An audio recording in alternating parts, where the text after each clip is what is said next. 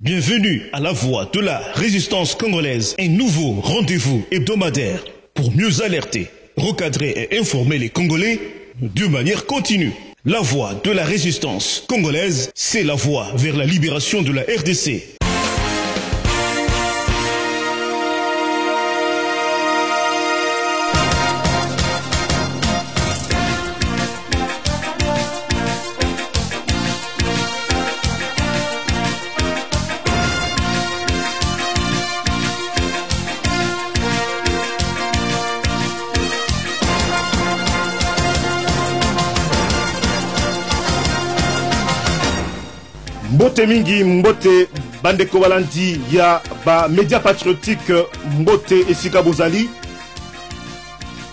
Lelo ezali esengo ya koyamba bino na kati ya emission na biso ya La Voix de la Resistance, Voix ya Resistance oyo ezali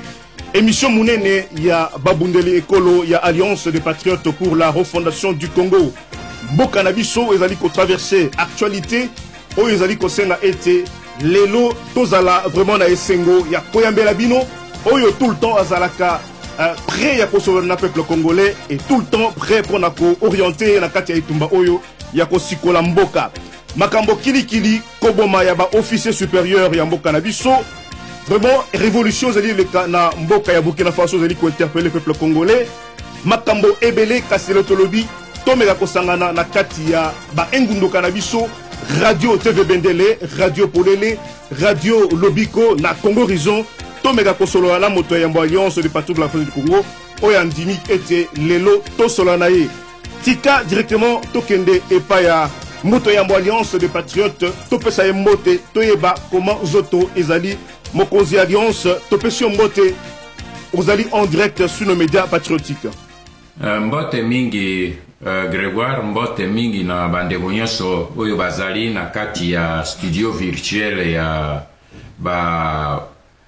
radio na biso pona emission ya nini tobengi bobengi yango la voix de la resistance napesi bino mbote mingi pe na felicite bino surtout pona organisation ya emission wana ya la voix de la resistance oyo eze kopesa occasion ke tomi adresse na bandeko na biso mpo na koyebisa bango sango ya mboka, sango ya mokili mpe kotelemisa bango likolo mpo tosikola mboka na biso. Merci lokola bobengi nga mpo na mbala ya liboso, nazali na disposition na bino mpo tosolola masolo nyonso oyo etali mboka na biso mpe oyo boye ezali kotungisa mitema ya bandeko na biso na kati ya Congo mpe na kati ya diaspora. Merci mingi. Merci moto yambo ya Alliance des patriotes pour la refondation du Congo. Ezali mpenza esengo ya kozala na yo malgre ba multiples occupations na yo. Mpo na ko presenter entretien oyo ya pokwa lelo, nazali nga moko te, nazali rejoint na studio virtuel par Libita Libongo ya Radio TV Bendele Tam Tam d'Afrique. Nazali en meme temps na ndeko Mpaka Mobali ya Radio TV Polele, na ndeko Jerry ya Radio TV Lobiko et moi-meme Gregoire Watupa ya Congo Horizon. Tika tokota na moboko ya likambo moto ya yambo, makambo ezali kilikili mboka na biso nungu nungu ba officiers superieurs ya mboka na biso le cas ya colonel Musa Amundala oyo peza bawuti koboma tika mpe toyeba ba nani babomi ye et ba cause nini oyo ekozala nzinga nzinga ya liwa ya moko ya ba officiers oyo. Et na motuna na ngai nayeba est-ce que ba officiers superieurs ya mboka na biso après liwa ya Mamadou na Bauma est-ce que ba meki peva kozwa mayele ya koyeba ete mboka ezali na likama maloba o mboka na yo monsieur le president national. Merci Gregoire pona motuna wana oyebi pona makambo ya ba officiers na biso oyo bazali koboma bango lokola soso ezali mawa mingi pe pona ngai na kobombela yo te ezali mawa te pona ngai epesaka ngai kanda parce que soda basala ye mpo akufa na mbeto te soda akufaka na, na etumba soda akofanda zila baya koboma ye alali na mbeto te baya koempoisone ye akufa lokola soso te ezali mpasi mingi mpe ezali kanda mingi me esengo mpe ezali ke na bozoba wana lokola ezosala bango moko bazali bazoba te bazali bato Baze komono ndenge maintenant makambo eze kotambola na, na mokili pe ndenge baze kosisa bango baike na kati na bango maintenant baekai oyo eze na kati na miso na bango ebandi kokweya donc nakanisi na kote wana tokokende na bozindo te mpo epesa mpe monguna mayele te me nayebisi yo ke lokola balobaka na français a quelque chose malheur est bon nakanisi makambo wana eze koya mingi eze kofungola bango miso Nako ta nako ta totala nano ka oyo lokola oyo ya suka ndenge otuni oyo ya colonel euh, Musa Mundala mais peut-être bato mingi bayebi te nakopesa bino simplement quelques details biloko mosusu nabombi yango mpo toze kolanda mpe badosie wana soko tobimisi yango mingi bato ebele bakokanisa te ba, ba, ekopesa monguna bapiste ya bindenge nini biso toze koevolue Mais colonel wana Musa Mundala ye azali sparsec lokola alobaka epe na biso na Kisasa kuna mingi secretaire particulier ya mama Sifa Maanya mama oyo boye Kanambe a presenta bato na mokili te azali mama ya bota ye ye nani nani euh, Amundala azali parsec azalaki mpo azali lisusu te azalaki parsec ya Sifa Maanya Ye nde mutu azalaki kosala liaison entre Sifa Maanya et Kana Hyppolite Kanambe. Ozo banda dejà ko comprendre ce qu'il ya là? Est ce que yo entre yo na maman na yo ata ozali empereur po bo bozu ozalaka plutot na intermediaire po asala navette entre bino? Parce que elingi koloba que nani Sifa Maanya azali aza lisusu na ba accès direct epayi ya Kanambe te. Ezalaki nani ma, nani Amundala nini ye moto azalaki kosala navette wana. Akendeki komona Kanambe mpo na kotuna permission que Kanambe akoka kotinda mama na mama oye oye alobi azali mama na ye atinda ye na Afrique du Sud mpo na ba soins. Mais eloko moko ya ko ya ko preciser liboso. c'est que Moussa Amundala wana azalaki déjà na collimateur ya ba Rwandais kobanda na ye moko Hippolyte Kanambe na staff ya ba Rwandais oyo totalisela bino na site na biso oyo eze ko coordonner yango sika na Bizi Makara pe na Ruberwa bango batiaki ye na collimateur mpo na nini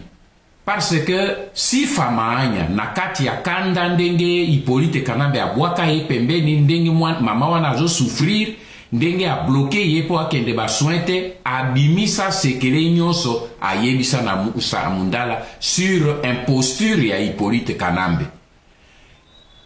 malheureusement ye nani euh, colonel au lieu que na ba information yo e determiner ye a mobiliser baninga na ye basala makambo oyo bana mibali basalaka ye azalaki kaka koloba koloba koloba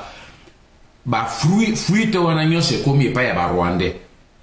babi a ah, donc tata oyo azwi sekele oyo euti epai na Mwasi oyo boye biso totia yo ya congolaise oyo totia ye ke azalaka lokola libabe moko ya ya mama oyo to pona kozipa makambo ya bosoto oyo toze kosala na kati ya mboka.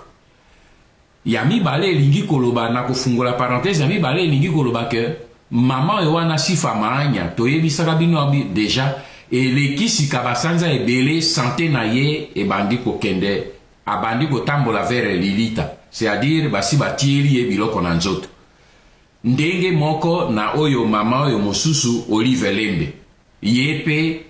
ndenge moko sante na ye sika ekomi ya mabe. Eleki meme mua mikolo, eleki sika mikolo pepe na poso moko, mama oyo Olive Lembe akotaki na coma ya trois jours. Famille na ye nde bayaki mpo na ko menacer Hyppolite Kanambe, y compris surtout soeur na ye Olive Lembe oyo mwasi ya Bologna. Balobi soki ndeko na biso, mwana na biso akufi, tokopanza sekele ya makambo nyonso oyo toyebi. mpo ye asi ayebisa bafamille na ye sekele oyo ezali ozomona bolole ya biso bakongole basekele ya bato baye kodetruire mboka na biso kaka baza koutilize biso bakongole e biso bakongole nde tozobombaka yango motu na motu na motu mpo na mwa intere na ye comment yo okoki koexplike ke bamama mibale Kaka baoyo ya, ya oyo bazali pembeni na ye, bango nyonso mibale wana sante na bango maintenant ezali kokende ebolole, bango nyonso bakokende ti na lilita, bakokufa na basekele wana mpo balingi ba, ba supprimer bango mibale, parce que bato bakopesa lobi preuve na makambo nyonso Oyo ekotalisa imposture ya Hyppolite Kanambe bango wana mibale. Bango wana mibale maintenant bakoti bazo bazo landa mito na bango esi ekoti na kati ya cercueil lokola baze kokenda. Tango ye nazongela maintenant nini ya euh, dossier ya Amundala. Amundala le 18 oyo ya sanza oyo euti kosila oyo ya lobi esilaki lobi ya, ya, ya sanza ya octobre Le 18 Amundala akendeki komono Hyppolite Kanambe. Ayebisi na Hyppolite Kanambe, Sante ya mama na yo ekomi mabe, atindi ngai naya kotuna yo pardon, tinda ye ake permettre ye akende na Afrique du Sud bakende ko soigner ye kuna. Hyppolite Kanambe alobi na Amundala, Niet, Pas question meme ye na hopital ya cinquantenaire kende ko soigner ye na hopital ya cinquantenaire mais ako bima na mboka te tala ka ba maman wana mibale ezala sifa ezala olive lembe bazali na pasi poison ese ekoti na nzoto na bango mais alobi bako bima te Alors que batu ya opposition tomonoki dernièrement Etienne Tshisekedi abimi batu ya opposition bazobima libanda azopermettre bango bakoki kobima bacircule boyambaka bango bipai nyonso bino bozali bozomona bango bazocircule mais bamama bato balobi les deux femmes qui devaient être les plus proches na ye les femmes les plus intimes une mère et une femme une épouse bango mibale bakoki kobima te est ce que congolais il faut basalela bino dessin mpo bocomprendre ce qui se passe là dedans est ce que bamilitaire basalela bango mpe dessin mpo bacomprendre ce qui se passe là dedans nalingi kosouleve na, na question botuni ngai wana justement ce problème là ba mama mibale wana bakoki kobima te alors lokola bango nini ntango ye hippolyte kanambe apesi na colonel amundala réponse négative alobi pas question ya kobima te amundala azongi epai na ye le même jour amoni garde du corps ya ruberwa aye epai na ye na ndako Alobi, Patron atindi ngai naya kobengisa yo okende epai na ye mpo apesa yo message ya Rais concernant dossier ya mama Sifa Maanya. Donc tala ndenge nini ba Congolais bakoma sous ordre ya ba Rwandais. Un colonel de l'armee Un civil qui n'a pas une fonction officielle, qui ne prend même pas soin ya kotelefone, atindi simple garde de corps kende koconvoke ye aya awa. Au moins Amundala azalaki na orgueil personnel, alobi na garde du corps kende koloba na chef na yo,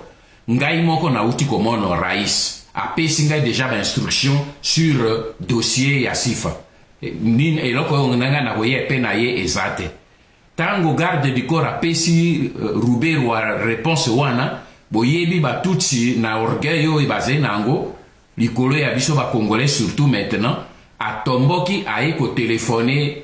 Busy Makarao oyo akoma Zorro na bango ya ba Rwandais pona ko ko dominer situation po ye moto akomi sika le patron des patrons ya service de renseignement pe ya securite ya Congo mobimba, ya rdc mobimba. alobi tala makambo oyo comportement oyo irresponsable et irrespectueux oyo colonel amundala azwi yango likolo na nga bizi makara comme azali bougre azalaka kotambola comme un éléphant dans magasin de porcelaine ale azwi telefone abengi amundala c'était toujours le 18 octobre abandi kogangela amundala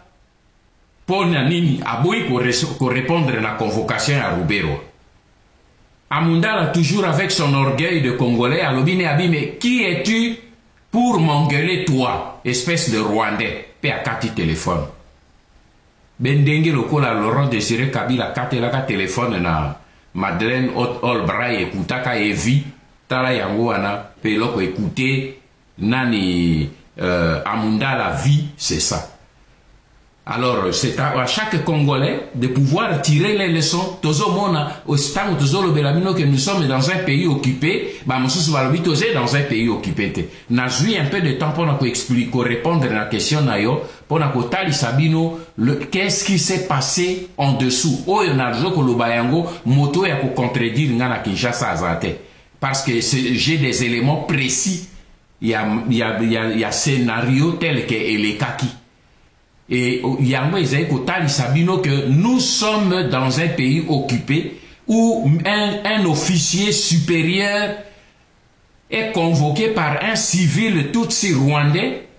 qui n'a aucune fonction, il n'est pas ministre de la Défense, il n'est pas ministre de l'Intérieur, et il fait convoquer un officier supérieur, s'il vous plaît. ozomona esika tokomi na niveau ya occupation et parce qu'il refuse parce que bayebi que ye lokola nani ya mundala azalaki koloba na nini partout ayebi que lokola azalaki pembeni ya mama wana mama wana apesi ye sekele ya barwandais wana nyonso Ayebisi ye que ba rwandais nionso ozomona autour ya kanambe wana baza na passeport mibale mibale mibale passeport rwandais na passeport congolais mais comme tata oyo ya biso amundala alobaki pe mua mingi ba yoki sekele wana bino soki totiki ekei mosika tokozwa ba problème il ont il ont liquide et bao mosusu na pesi yango ba detail po ba ba officier mosusu bayoka pe bayeba tomonoki ka ya ya Mamadou bomoni bino moko ndenge nini babomi tous les témoins oyo bakoki koaporte preuve oyo bazalaki na preuve ke barwandais babomi ye bazoboma bango brutalement et les congolais sont là ils ne réagissent pas Mais leur reaction c'est de s'adresser sur le dos de Ngbanda lorsque Ngbanda leur dit mboka na biso ezo occuper, mboka na biso ezo kende, ah non, Ngbanda pourquoi, Ngbanda, Ngbanda, Ngbanda, mais voilà les gens qui sont en train de faire des choses. Mais rien, personne ne suit. Merci beaucoup. Merci mingi Kulutu Honore Ngbanda Zamboko Atumba mpo na biyano kitoko tika na passe directement epai ya confrère na ngai ya radio TV Bendele eh, ndeko Libita Libongo oza na maloba Merci, merci ndeko wangai Gregoire Watupa epai yo ozwami kuna biso banso na kati ya bingunduka oyo na oyo totelemi likolo lelo mpo na kobeta nsete likolo na makambo oyo ezali koningisa mokili nazali na mingi te na koleka mbango epai ya yeme le président honore mbanda aza moko ya tumba président liboso nalingi napesa yo mbote bebo meseni mpe nzoto na yo estce nzoto kimia nzoto ozali makasi mokonzi Na grace ya nzambe nzoto ezali makasi leki. Merci mingi bandeko tozali kolanda toujours mais lelo likambo oyo toye nango lelo lelo ezali mokolo ya le 1er novembre awa na kati na baradio to bingombolo oyo ezali libanda na mboka mpona kotombola bapeple congolais na basituation ezali koleka na mokili nyonso lelo ezali mokolo ya poso nazali korapele bino banso bozali kolanda biso Longilima to makasi etelemi likolo na mboka bazali kobenga Burkina Faso lelo. Lelo revolution esalami na kati na Burkina Faso.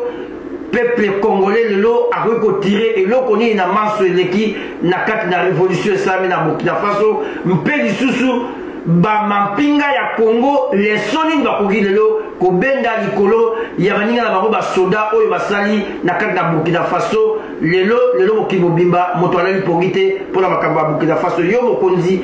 yo leader, yo moto ozali komema biso okoki koloba nini na mass oyo ezali koleka pe leçon nini peuple na armee ba attire? Mabo mboka yo kulutu. Oyebi libita na mokili mobimba? Otika nanu napesa mwa introduction moke. Na mokili mobimba role ya catalyseur, catalyseur ezali bato oyo boye bazalaka lokola propulseur oyo omoni fusée mpo ekenda likolo ezalaka na biteni misato mono fusée ya liboso moteur oyo ya liboso yango nde epikolaka fusée mobimba ekei na yango ti soki ekomi penepene na kobima na espace ale epuse yango yango ekatani ekwei oyo mosusu ekontinue na, na nini na, na capsule mosusu donc role ya elite Ezali role ya catalyseur. Omoni na mokili mobimba so otali revolution esalemi na Inde mpo bazwa independance na bango il y a eu Indira Gandhi.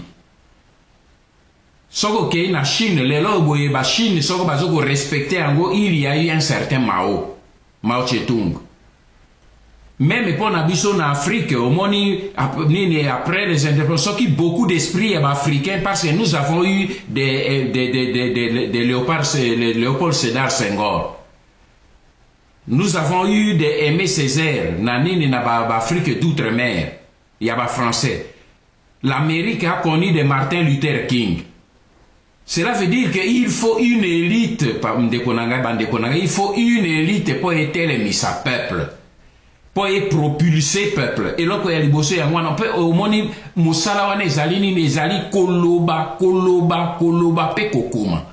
Nazoloba yango mpo na nini? Parce que avant na introduire une problème oyo ya Burkina Faso ezali ezali problème monene mpo na elite na biso. omoni nini pour, pour, pour vous montrer stupidité mpe médiocrité ya elite congolaise ntango tosali annonce oyo ya ya livre ntango nasali annonce ya sortie ya livre stratégie du chaos un ancien cadre je dis bien un ancien cadre ya pareco batindeli ngai nazwi au moins bato 10 mpo ngai nakotoko na bafacebook na bino te nakotoko na bayoutube jamais me bato batindeli ngai de partout réaction na ye oyo akomi abia bozali kaka kokoma livre mosusu bokolibere mboka kan un intellectuel aza koyeba te que on libère le pays par les idées on libère le pays par le discours on libère on, on, on, on dresse un peuple par un discours mona tout le problème ya biso bakongolais ezei Et wana eleko oyo boye un congolais un cadre soit disant cadre intellectuel congolais azoloba ke abino ah, bozo bozokoma kaka bokolibere mboka kan oyebi ke en 2000 nazongeli mpo nakoti na introduction mpo nakita epai ya motuna nao nabosani yango te na l'an 2000 déjà Eleko oyo boye ba bino ba elite congolaise jeunesse congolaise bozalaki kofinga ngai ntango nabimisaki ainsi sonne le gla bozobwakela ngai mabanga deja eleko wana beaucoup de jeunes nazalaki kovoyage beaucoup beaucoup de jeunes et ba jeune wana ebele na kati ya avion okomona moto aye ah monsieur ngbanda c'est vous monsieur ngbanda je vous ai reconnu est ce que okoki ko nakoki kosenga yo une faveur nini yango est ce que okoki kodedikase ngai livre na yo ainsi sonne le glas gele ici en main nabi akombo na yo nini okoyoka traore ah vous êtes d'où ah du Burkina Faso j'ai reçu beaucoup de jeunes gens du Burkina Faso qui se sont intéressés à ce livre depuis longtemps, 2000 j'ai signé au moins une vingtaine de dédicaces dans l'aéroport, dans quatre avions venant de ces jeunes gens-là. Na 2001, universite ya Burkina Faso ekomeli ngai officiellement mpo na kosenge ngai autorisation pour que ba utiliser ba ba reproduire ba fascicules ya ba extraits ya Ainsi sonne le glas mpo basala yango comme ba travaux pratiques na universite ya Burkina Faso. Mpe balobi parce que votre livre Ce que vous racontez pour le, le Zaïre constitue un cas d'école pour l'Afrique. ozomona libita problème ezali epe na biso yango wana ezali problème ya jeunesse mpe ya élite na burkina le problème c'est que ba jeunesse na bango bazali complètement nini mobilise bazali en eveil sur tout ce qui se passe pe na bango. Na ko reveler bino po tokota rapidement na moboko ya, ya motuna na yo. Oyebi ke nini revolution euti kosalema wana? Tango oyo na utilisaka bino terme ya se na mai se na mai bozalaka ko comprendre te. Est-ce que boyebi eloko nini elekaki na na na nini na Burkina? depuis plusieurs mois, fin à année passée, ce sont les jeunes cadres burkinabés, en dehors des hommes politiques de l'opposition qui continuaient à se battre, Bango Bami organisé, Babi le quoi, politique, Bazali très surveillé, ce sont des médecins, des ingénieurs, bah, s'organiser, bah, recruter des jeunes intellectuels burkinabés, Quelques dizaines batindi bango na Senegal clandestinement bakei kuna bakei na nini pembeni ya organisation oyo esalaki mosala na burkina euh, na nini na senegal ionamar batindaki bango kuna bakendeki kozwa formation epai ya bana oyo ya ionamar baninga na bango ya jeunesse ya ionamar na senegal Bango wana nde bazongaki na nini na nani na Burkina Faso depuis ba, ba, ba sanza ya minei ya mbula oyo tozali na yango mpe babandi koforme bandeko na bango sur place lokola bomonoki moto eze komata eze komata eze komata ezalaki mosala oyo basali yango na se ya mai mpo epai na biso bakongole balinga kaka soko moto azosala likambo ifo e youtube youtube youtube ifo abima asala alata nini cravate atia banini bangelingeli na nzoto ifo aya koloba nasali boye nakendeki boye nauti na elize nakei na nini boye abozomona ngawa boye nabeleli nazolobela sasu nazolobela tel nazo bachef ba d'etat nkombo na bango ekomi lokola nini Euh, nguba na kati ya monoko na bango congolais aze na respect te aze na sekele te me tala ndenge baninga na bino batravaille ce sont ces jeunes gens là bango nde bakendeki kuna mpo na kosala mosala wana bango wana bazongi bayei babandi kosala mosala na nini na nini na bandeko na bango bamobilize bango et au même moment côté politique Eloko nini tomoni ba homme politique oyo ya opposition nazo loba na bato balobi o bazongi kishasa o ngbanda yaka na kati ya mboka tosangana tosala to combattre de l'interieur regarder les gens qui combattent reellement de l'interieur ba se reunir bango nyoso tout kuna sur place Meme ministre oyo tomonaki azalaki ministre ya compaore oyo a rejoindre ba le vrai opposition veri, la vraie opposition a rejoindre bango bango nyonso bamiti ensemble bakokaka ba yo ozalaki moto ya compaore yo kozala na biso te non bamiti ensemble l'unite mpe soki otali bapoliticien ba, ba, ba oyo ya opposition wana oyo ya, ya burkina faso baechoue combien de fois depuis plus de 20 ans baze ko se battre depuis affaire ya nini ya journaliste zongo bookaka bango balembi oyoka oh, ba, ba mosusu babi a ah, bobanda kala bozobwaka nini eh, campaure te abotika biso nini na bino ekoresi te non ils se sont battus dans la persévérance yango wana omoni na kati ya, ya, ya, ya bapankarte oyo bajeune wana bamemaki yango leson monene ya soni oyo bapesi yango na classe politique na biso pancarte wana oyo l'une des pancartes oyo bazalaki kotambola na yango wana eloko nini bakomi na kati balobi blaise campaore dégage si tu veux un troisième mandat va au congo kinshasa où les peuples sont les idiots manipulés par les pasteurs et la musique pas ici nous sommes un peuple fort fin de citation bozomona te ke esoni mpo na biso bakongole abis kampare soko yo olingi troisième mandat kende na congo kinshasa kuna nde baidio baza kuna mpo batika mboka na bango bagere yango lokwa balingi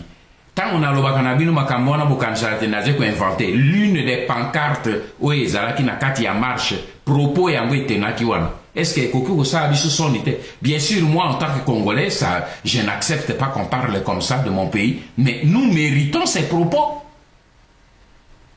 Esika makambo oyo ebimi awa. kuna na kinshasa boyoki baopposant ba politique moto en tout cas na baconnaissance na ngai nayoki kaka moto moko gabriel mokia qui a, qui a, qui a, qui a enchaîné mais est ce que boyoki bato ya opposition moko batomboli motu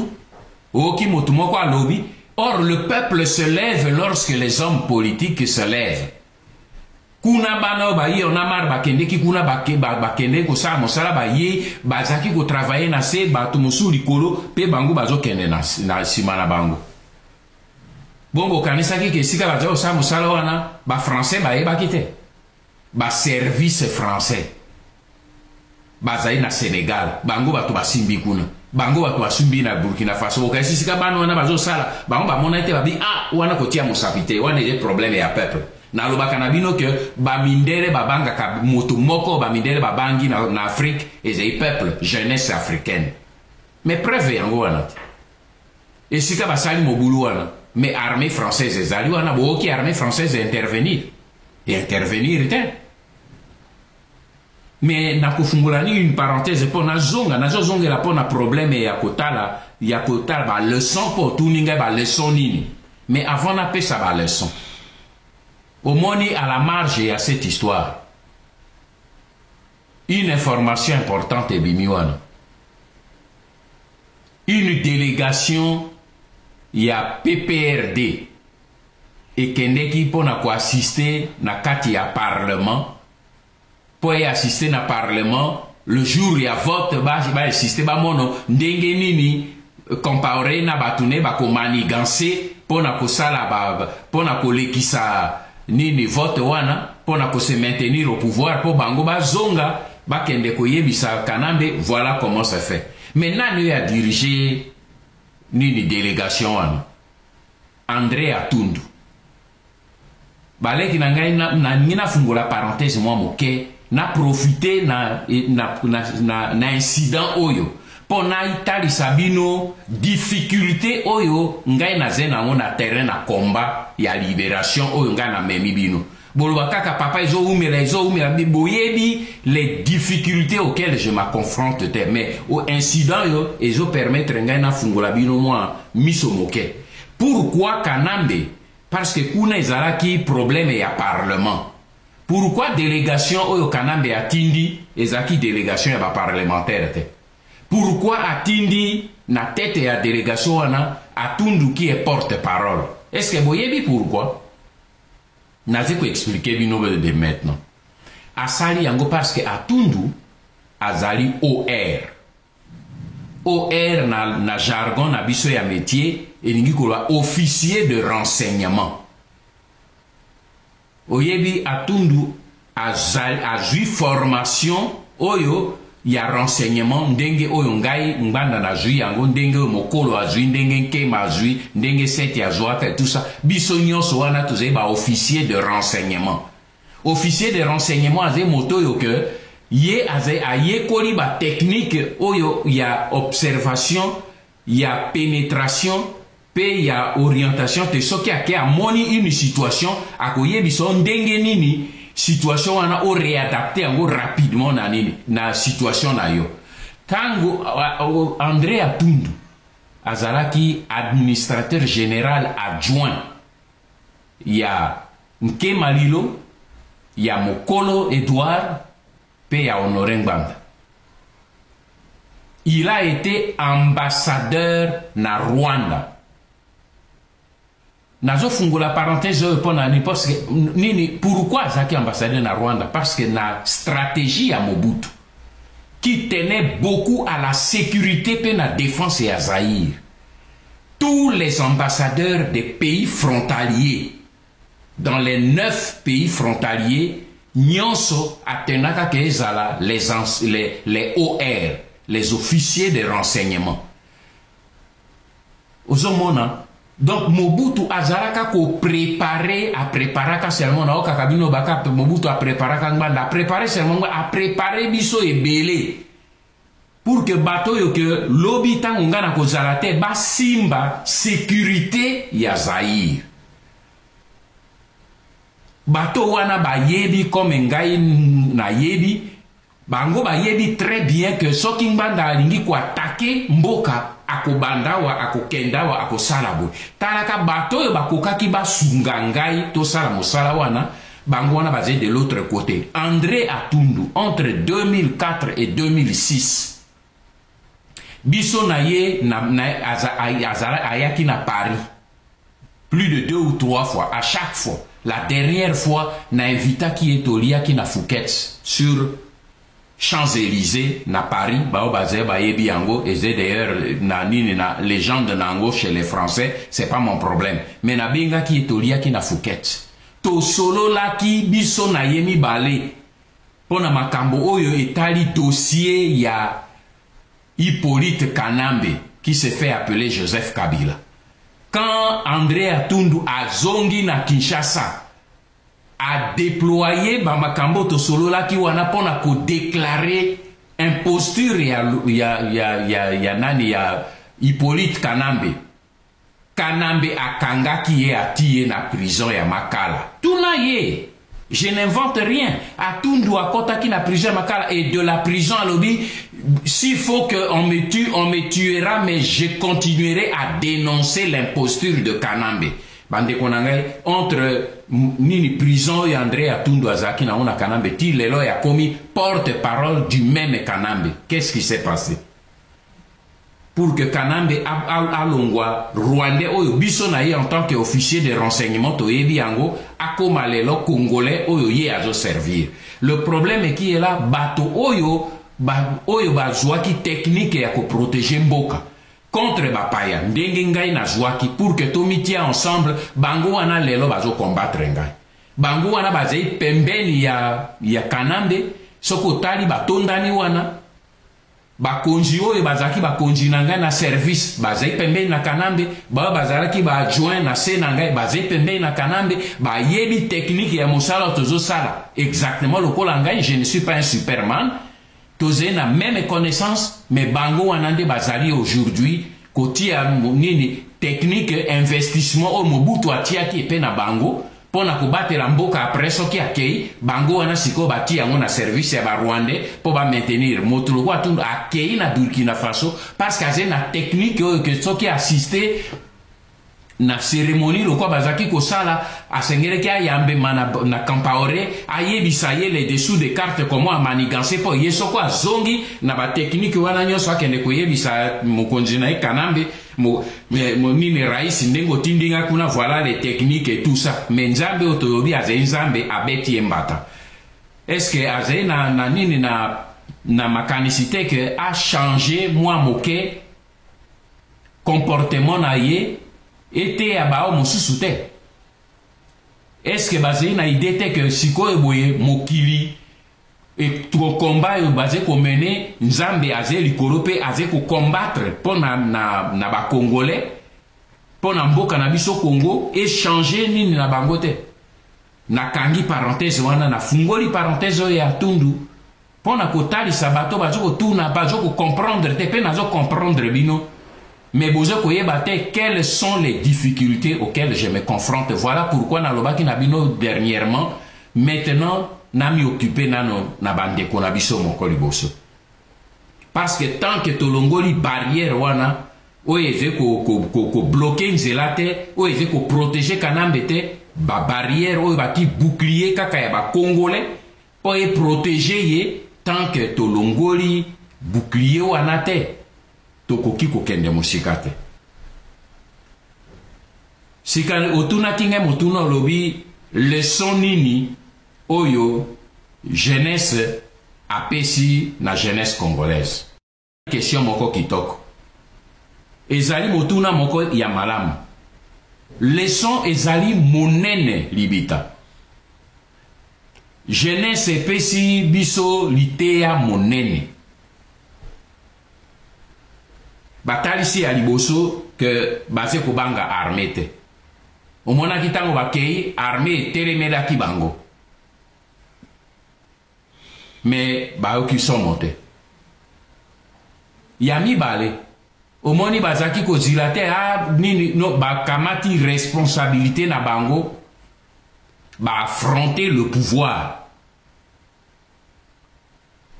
et puis oyo elingaka kosalema mingi epai na biso oyoki bajene wana ke o oh, tokende na ambassade ya france tokende na ambassade ya washington non bakei na parlement excuse ngai bakei na parlement bakei wapi bakei na aéroport bakei wapi bakei na résidence ya compaore Bakei wapi? Bakei na residence ya ba dignitaires nionso. C'est ça. Bazili te ah Paris alobi nini, eh, Washington alobi nini non, babi c'est notre pays, nous nous levons et nous nous battons. Et omoni libita baleki na ngai ezali ko comporter en même temps une autre leçon oyo nayebisaka bino ntango nyonso l'attitude ya ba puissance occidentale oyo boye epe na biso na Kinshasa balobaka bazobenga bango ba décideur ce qui vient de se passer na nani na Burkina Faso bokanisi ke France ayebaki te bokanisi ke États-Unis ba service na bango bayebaki te bayebi mais awa ba esika bamoni ke ba jeune batelemi mpo na koregle probleme na bango bamoni puissance wana nini ya organisation na bango parce que mondele boye baleki na ngai bamindele batalaka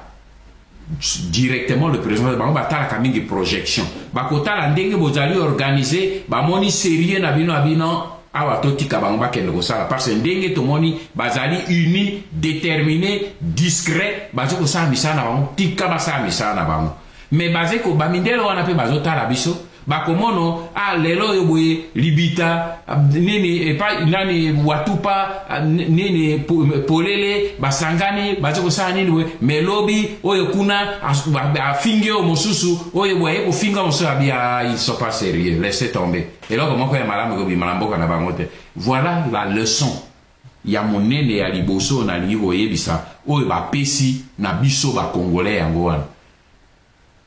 au niveau a armée c'est une grande leçon pour bamilitaire militaire certes omoni et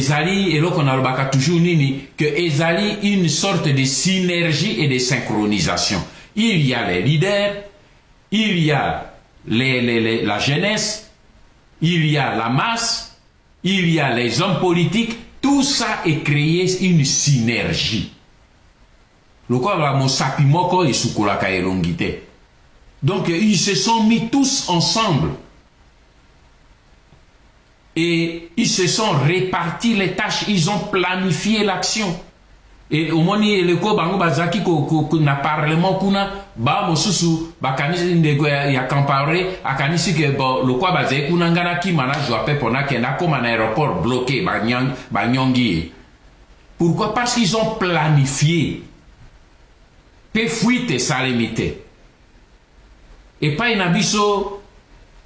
omoni bana oyo nini ya, ya, ya, ya, ya, ya Burkina ndenge nayebisi bino bakendeki na nini na, na, na, na, na Senegal, moto moko ayoki sango na bango te. Depuis bana wana bakendeki na Senegal, depuis bazongi, eske congolais moko amoni na YouTube ba moko abimi ya tokei na Senegal, tokei kosala na hiyo na mar, tosali tosali nini boye esili, sikoyo tozongi bokoyoka sango, eske boyokaki bango rien.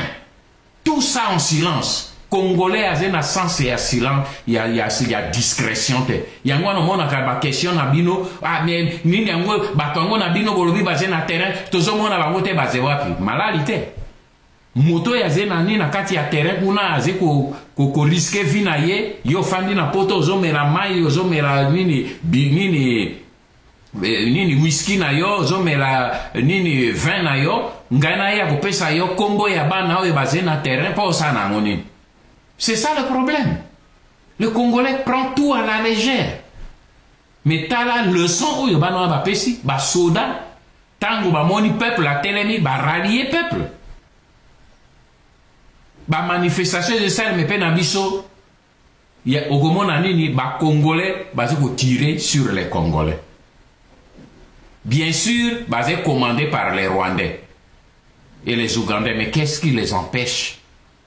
baza ba soda ba makila na bango mpo na ekolo batala mpe batire leçon Voilà na, na niveau wana soki peut-être une sous-question ezali oyo na, na aborde te okopusa mais sinon ba leçon oyo nalingi ko soulever po te e attirer attention na bino yango wana totala vraiment ndenge nini makambo ezoleka parce que biso bakongole tolingaka koimite makambo mosusu mais tozo koimite mal nayokaki dernièrement de, pas dernièrement nazalaka kotala eleko boye na nini na 2011 Nazalaka koyoka par exemple les gens qui criaient bato oyo ya nini ya, ya, ya, ya verite des urnes ah, mbala oyo boye tozokende na baélection meto mbala oyo ezali schéma schéma ya, ya, ya, ya tunisie schéma ya tunisie natikali nye na tembo eti na bima eske bazocomprendre eloko bazoloba bana oyo upa bazokende na élection na kanambe mpe balobi bakei na schéma ya tunisie mais schéma ya tunisie ezalaki nini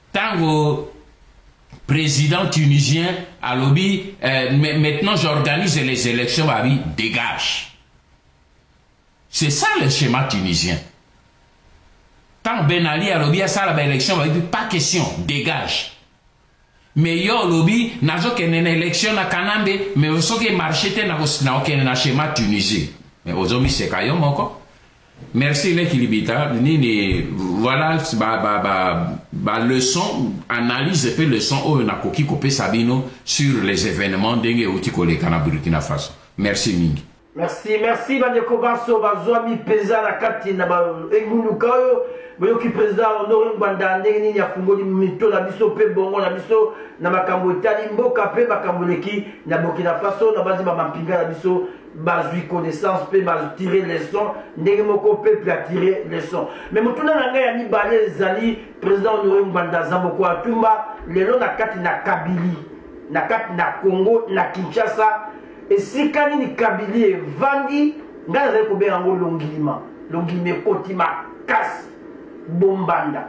kokabwana kofundana moto epeli kati na bango me balobi nyonso oyo ezali kopelisa biso moto ezali mesonero ngbanda ndenge azali komanipule population ndenge azali komanipule peple mpo likambo oyo ekwea na moto na biso balobi yo ozali na kati ya makambo oyo na kati na mobulu oyo na kati na mbulu yeke oyo ekoteli bango e na kati na longinima oyo ngai azali kobenga longinima likolo ya longinima mokanda longinima mpe ezali yango nalingi nayeba estce nyonso bango bazali koloba lelo balobi ombre na yo ezali na kati na longinima oyo esali bango Mamu mboka yo misolo ngbanda za moko atuma. Eh leki libita nini na resultat monene oyo toze ko recolter na 2014 oyo to recruter to, to, to recolter ba resultat ya minene minene ba victoire oyo tozokende na yango victoire sur victoire ezali eloko ya liboso nalingi kopesa precision ezali l'œuvre d'un seul homme te non Ezali le fruit de travail de chacun de nous. Meme soki bango kuna bazotanga kombo na ngai, me tia na motu na bino que bulu yeke ekoteli bango kuna ezali simplement honore ngbanda te. Non. Ezali yo, ezali ye, ezali ngai, ezali biso. Biso bino nyonso. Omoni na debut ya année 2014 na fixaki bino ba axe mpe ba objectifs ya ba actions oyo tosengeli ko mener na mbula oyo. Mpe na kati ya ba objectifs wana totiaki, natiaki importance makasi na ko atteindre maboko oyo ezali derrière ba occupants oyo bazali na mboka na biso, ba Rwandais mpe ba Ougandais. Nalobaki na bino certes Hyppolite Kanambe Kagame na museveni bazali important mais loboko oyo ezali derriere na bango pieuvre oyo afandi derriere ba vautour oyo bazali derriere bango nde bazali beaucoup plus important to concentre action likolo na bango napesaki bino ba orientation oyo ezali mpo na bino sur le plan visible nalobelaki bino oyo ezali invisible ya se ya mai botikela ngai yango Wana ezali mosala na ngai. Pe mosala oyo tosali yango soki lelo oyo boye ozomona bule wana ebi, e, nini ekomi monene depuis le début de l'année soki bomoni nyonso oyo boye ekomeli bango mobulu oyo ekoteli bango, loyenge oyo ekoteli bango, eh bien, ezali resultat ya mosala oyo bino bosali, oyo ya bino na kati ya bapanzi sango, ba animateurs ya ba radios patriotiques, ba mama, ba jeunes, biso nionso et baoyo surtout surtout baoyo bazali na kati ya mboka bazali ko continuer kosala na oyo boye na ba reseau minene oyo tozali kosala na se ya mai oyo to nabengi nayebisi bino yango ezali ya diplomatie secrète soki lelo omoni ba decision minene minene minene ba, ba décideur na bango nyonso tu bakomi ko changer Nini vent ebandi ko tourner ezali resultat ya biso nionso tout. Donc fleur wana ezali ya Honore Ngbanda ye moko te. Ezali ya yo libita, ezali ya Gregoire, ezali ya nani ya ya, ya Jovin, ezali ya ya biso nionso tout, ezali ya mama ya, ya, ya, ya bamama nyonso bazali kosala na kati ya, ya radio baoyo bazali kosala na ngai na kati ya bakabine baoyo bazali na kati ya pareko baoyo bazali na ezali biso nyonso flaire wana ezali mpo na biso nyonso tu wana ezali la première précision oyo nalingi kopesa ya mibale nalingi na confirme yoke bulu yeke ya monene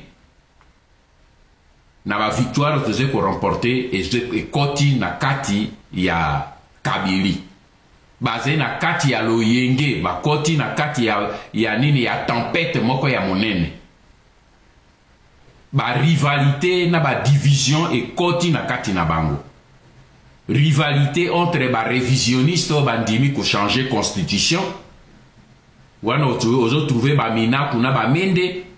et de l'autre côté ba anti revisionnistes oyo bazali d'accord te pona ko changer ba constitution ozo mona comme ba ministre Banza conseiller spécial Lumbi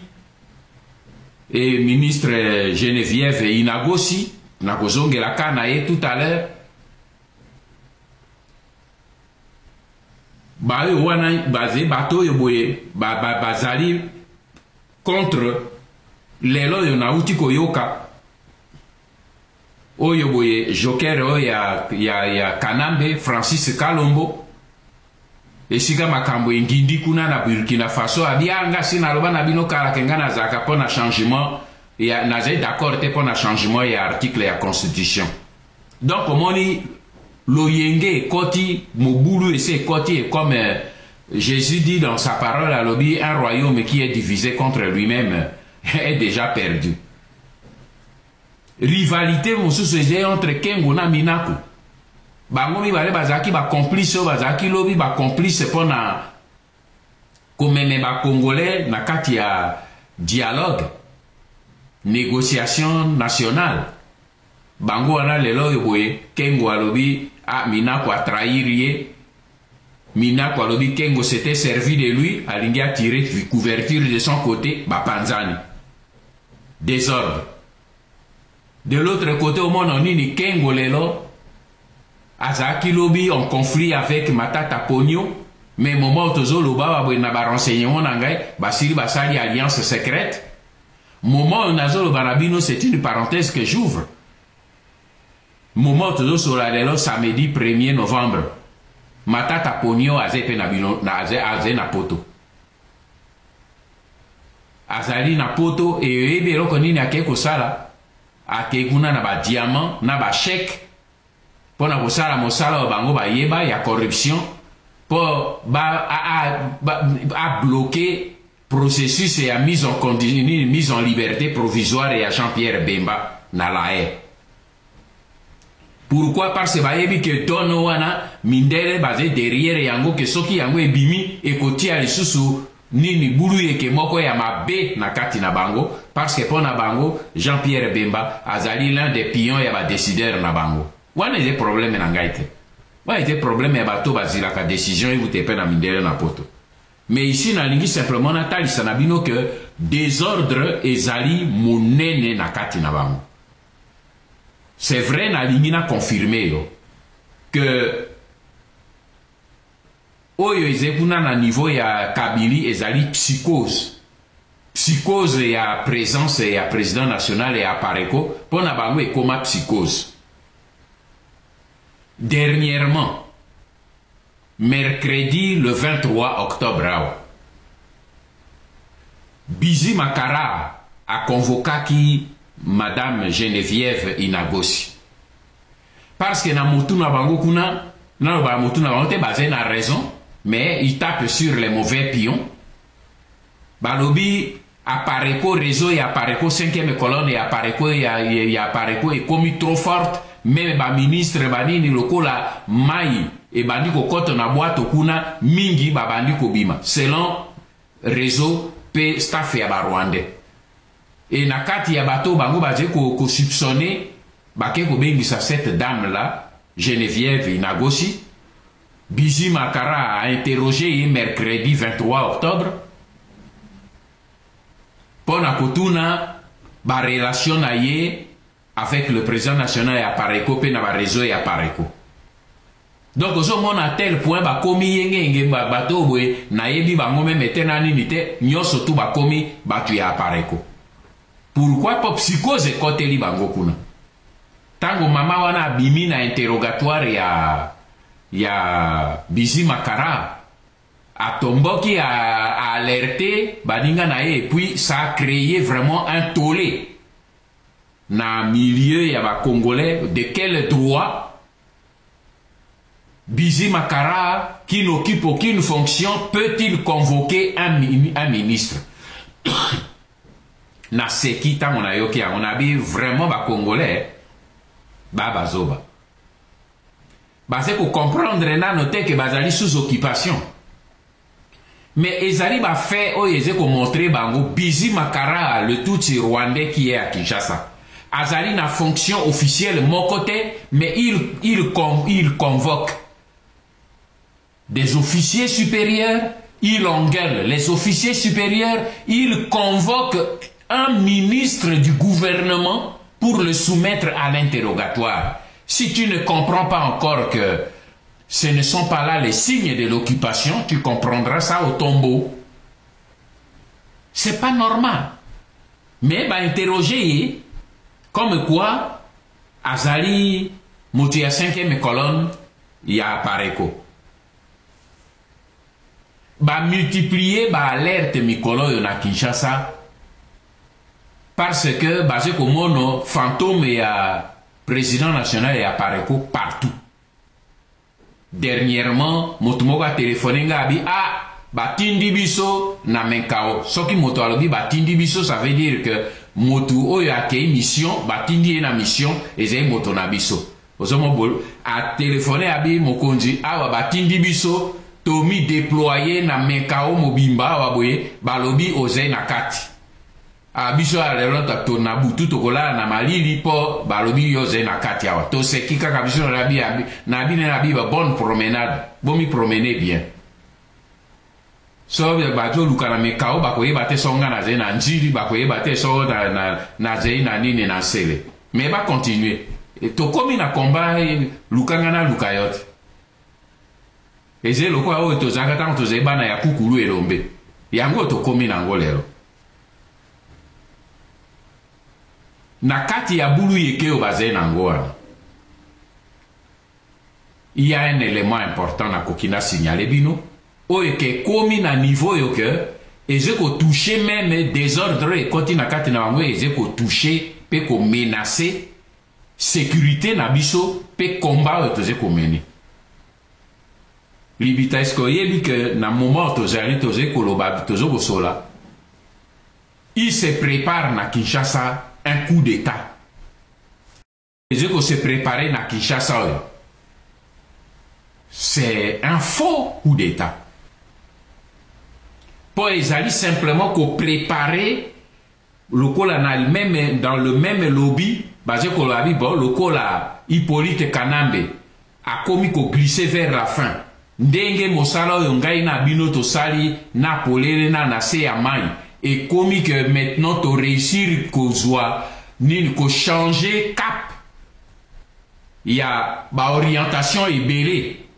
ya bato oyo basimbi bango derrière bango moko balobi il faut toluka maintenant tochange kaka tolongola pion wana totia un autre pion rwandais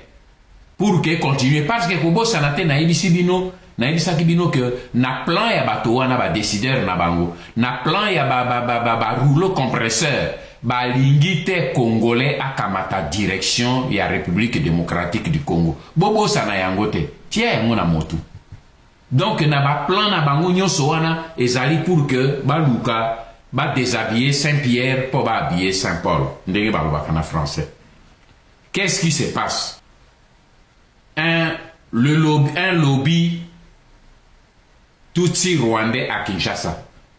Bazali wana bazali groupe bakabuani mais il y a un rwandais à Kinshasa tozali nano na niveau oyo tozali na yango na kotanga bakombo te avec ses amis belges et une haute personnalité belge na kotanga mpe kombo te mpo biso ozolanda dossier bayokani Balobi na kati ya situation oyo bakeyi oyo nini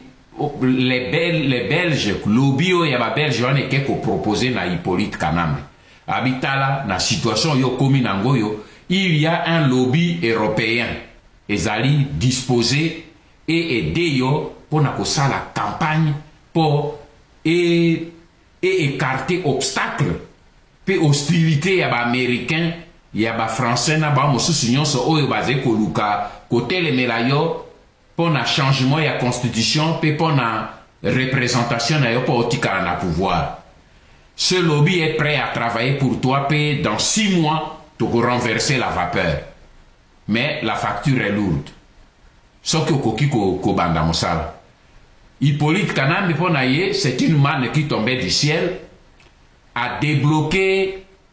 un compte, il y a combien 350 millions de dollars qu'il a mis à la disposition de ce lobby. Malheureusement pour Naye, les 350 millions de dollars ont servi à acheter des armes. Les armes ont ete deposees dejà dans un pays africain sous controle ya ba lobby rwandais avec certaines personnalites ya mboka oyo epayi babombi bibundeli wana. Tokotanga ba kombo te mpo biso tozolanda dossier, tozali na kati. Mais soki lelo na denoncer yango, nazo denoncer plan Oyo bato wana basali ezali mes mephistophelique, diabolique. Entre sanza ya decembre pe ya janvier ba planifier une serie ya ba troubles. Bato oyo basali bazo preparer coup d'etat ya ya ya ya nini ya simulacre ya coup d'etat wana ba preparer baze baze ko ba, ba planifier que na mois de décembre bato bakobanda koboma bato serieusement na kati ya Kinshasa pe na est ya mboka bakosala yango na na, na Bas-Congo bakosala yango na Equateur pe bakosala yango na Kasai simultanement pe eleko trouble wana ekosalema bango maintenant bakosala coup d'etat na bango na kanambe mpo ezala comme une réponse ya communauté internationale pour dire voilà situation ça va mal bakamata mais en ce moment bakotiela biso le système ya occupation ya ba oyo rwandais oyo balingi kotia wana mpo a controler reellement la situation et là nous sommes partis rapidement pour la balkanisation et l'occupation definitive ya mboka na biso nyonso wana nini ezali kaka buluyeke oyo ekoteli bango Voilà pourquoi en, en ce moment-ci baleki na ngai biso tosengeli tozala plutôt concentré parce que bango nde bakotisi bakomi sika do au mur bango sika bazali na kati ya loyenge mbata oyo bauti kozwa encore na burkina faso et destabilise encore bango plus Omoni nzambe azali de notre cote eza okwa ba hypercute oyo tozopesa bango alors ndenge ezalaka na boxe ntango ozobeta ozobeta omoni adversaire akomi azondengba-ndengba kotika ye lisusu te continue koasene le coup jusqu'à ce qu'a tombe kao oyo tokomi biso na bango yango wana tokolashe bango te tokokontinue na bango awa ti jusqu'à ce que balala na se Il faut to recuperer mboka na biso et tous les signes sont là que bango nde bakoti na bulu et que biso tozali le vent est derrière notre dos, notre Dieu est derrière nous et devant nous, c'est le moment où nous devons les assommer. Merci beaucoup. Merci président Honoré Ngwanda aza moko atumba na base na kozonga mpenza mbangu epai ya modérateur ndeko na ngai Horizon Horizon balobomboka yo watupa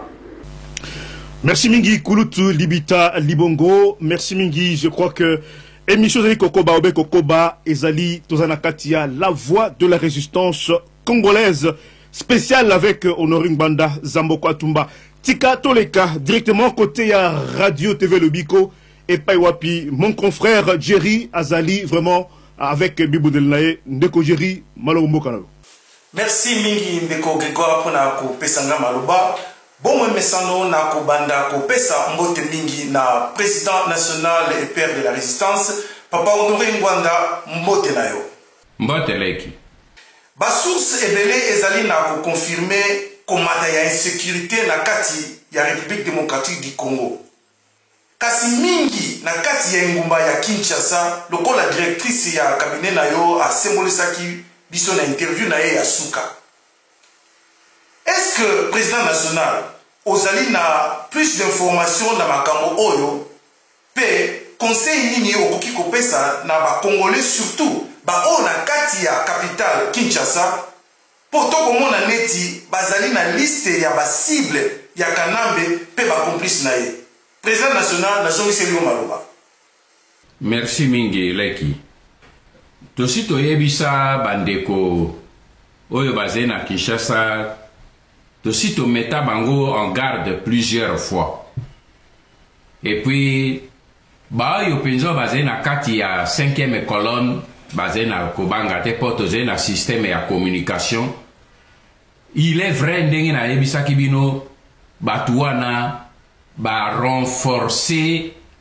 système na bango mpo baluka kosilisa ba congolais nyonso oyo bazali na kati ya mboka mpe baoyo bazali libanda Basilisa bango mpe balalisa bango nyonso na se. Ezali un plan oyo basi babanda yango me ezokende crescendo, ezomata kaka komata. Ntango nani Mamadou Ndala akufaki, nayebisaki na baofficier meme avant ça Nalobi bokeba liste ezali bakolongola bino moko moko moko et puis ba officiers mosusu napesaki bino temoignage dernièrement na prevenaka bango personnellement bakamati beaucoup de temps pona kozwa ba precaution balimwisi bango lelo oyo tozali kosolola shema na bango pona kotia desordre pe mobulu na kati ya mboka ezali monene A tout moment oyo toze kosolola,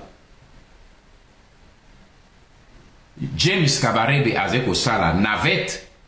entre Kinshasa et Kigali. Wana na koaborde yango awa te, nakanisi mama Candide akopesa bino badetail wana na l'oeil de patriote. Ndenge nini rencontre meme esalemaki fortuitement ndenge tozuaki ba informations sur rencontre ya ya ya nani ya nini ya James Kabarebe na Vital Kamerhe tokopesa bino ba details na ba lieux na ba dates esika bakutani basololi nyonso wana ezali kotalisa nini ezo kotalisa ke biso ba congolais il faut tosala keba Ngai nazali simplement mpo nayaka kosala ba revelation revelation revelation te ça ne sert à rien ngai ba, ba information napesaka bino ezali te mpo nabima comme james bond non c'est pas ça c'est pas mon role ngai aza journaliste te mais nazali leader oyo bino bolandi alors mosala na ngai ezali kozongela bino na koloba na koloba parce que mosala ya leader ezali koloba mpe kotelemisa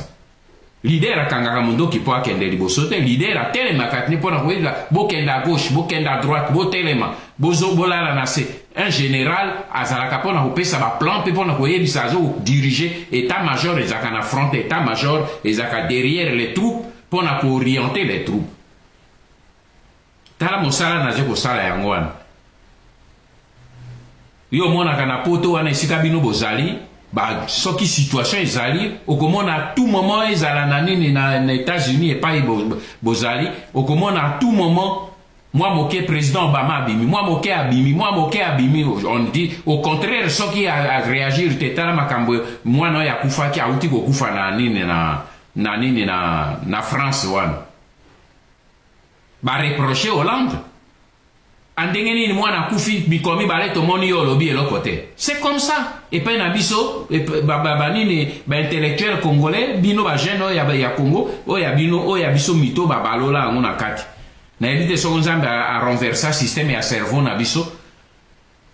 quand un leader se lève chaque fois pour na ko interpeller bino ah, alobaka mingi eh, mosala na kaka koloba mais mosala na leader nini alors soki leader azoloba te akufi seke azali lisusu na miso ya komona te parce que leader azali miso ya peuple a ah, monoko ya peuple ntina wana aza kobelela mbela mbala na mbala na mbala yango wana Sikoyo moment nga nazo loba na bino na ambassade ya France na Paris esika biso tozali na ambassade ya France na Paris delegation ya monene euti kokoma wana di agent ya ANR bazali au moment oyo nazo solola na bino bayei na ambassade ya France ya, ya RDC na France mosala baye na ngoni baye na liste liste ya ba, ba, ba, ba, ba, ba, ba collaborateur na ngai nyonso bazali les plus dangereux pe ya solo nalobi ba collaborateur eza simplement ya pareco te nazali na bato ebele lokola ba odon mbo et tout ça bandeko oyo boye bazali ba collaborateur na ngai te mais baoyo nazo travailler na bango baoyo nazali na contact na bango baoyo bazali batelemi mpo na kosala mosala ezala directrice ya cabinet ezala nini président vice président national ndala bango nyonso wana baoyo bazali proche pe bango bazali ko gene le pouvoir d'occupation nyonso bazali na kati ya liste baye kosala nini mosala nini baye na mbongo ebele soit baluka bacorrompre mais baoyo bazali incorruptible il faut les éliminer bozali ebele balibita bino nyonso wana bozali sur la liste Nazoloba yango lelo polele po bokeba, bozala distrait te. Bokeba d'abord na ba Congolais parce que le recrutement oyo esalemi na poto ezali esalemi na ba Congolais. Il y a même un, un, un journaliste, un, un, un soi-disant journaliste oyo azalaka un pied dedans, un pied dehors. Azali na bino esika moko awa na poto esika tozali. Il est dans la liste. Tobimisi kombo na ye polele te mpo to prevenir bato oyo bayebi meme ezala boko na kati na bino na kopesa bino ba kombo na bato wana. Tokotia bango polele te mpo tolingi nini ba distraire biso na polemique te ekomi sika combat ya serieux mais bayeba ke tozolanda bango. Moto oyo totangelaka bino kombo na ye Gino oyo ayaka liboso ye wana azongi na bango. Nalobi yango mpo bayeba ke tozolanda. ba, ba, ba, ba, ba, ba, nini ba soit disant combattant oyo boze na bango wana na, na nini na, na kati ya, ya, ya, ya mangomba na bino balekaka na ba youtube na banini ngai naza moto ya youtube na ba facebook te nakotanga bakombo na bango na nini te me nakopesa motu na motu na motu le vrai patriote oyo bazali menace dans la liste bokozwa bakombo na bango oyeba ke songolo songolo songolo azali recrute na réseau oyo eye eze kosala na ambassade bokozwa bakombo na bango bokozwa bakombo na bango nyonso tu parce que maintenant tokoko ngai nazali responsable ya sécurité na bino nakoki kondima te ke bato mpo na bato balingi koteke mboka na bango baya kotouche ko, ko, ko na cheveux na bino non c'est pour dire na question otuni ngai leki mpaka mobali ke nini situation oyo tozali na yango ezali situation ya liseki te eye situation moko serieuse barwandais ba bazali détermine baluka koen finir avec nous mpo na koneutraliser la résistance mais ils ont mis le, le, le doigt dans la prunelle de dieu bakoreusir te Nalingi simplement ko confirmer na bino que situation wana ezali situation serieuse et biso tokamata yango à la légère te, tomi organiser et bokozwa ba consignes mpo ekomi sika combat ya corps à corps, bokozwa ba consignes na nzela ya, ya biso moko ya bokutu tokoganga yango likolo na ngomba te mais bokozwa ba consignes sur les comportements qu'il faut apprendre maintenant.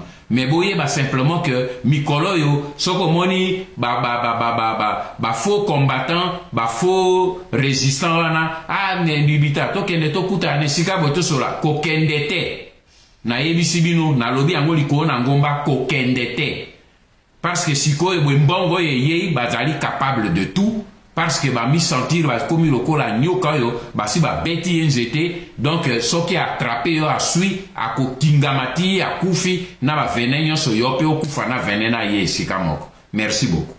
Merci euh, President National na koyanola motuna na ngai mpe na kozonga mbango na confrère na ngai ya Congo Horizon, ndeko Gregoire, nazongiseli yo maloba.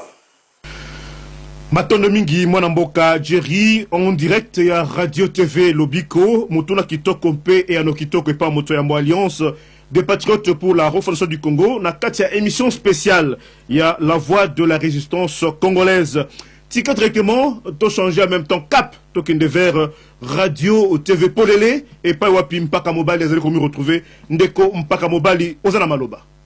Matondo matondo mingi ndeko Watupa ko pesa maloba na ngambo ya Radio Polele et na pesi vraiment longonia mingi na son excellence president Honore Ngwanda na koyeba ko ndima eh, invitation oyo na kati ya la voix de la resistance oyo osangisi biso na pokwa lelo na kokende lombango mpo na motuna na ngai mpe topesa ye ngonga ya kopema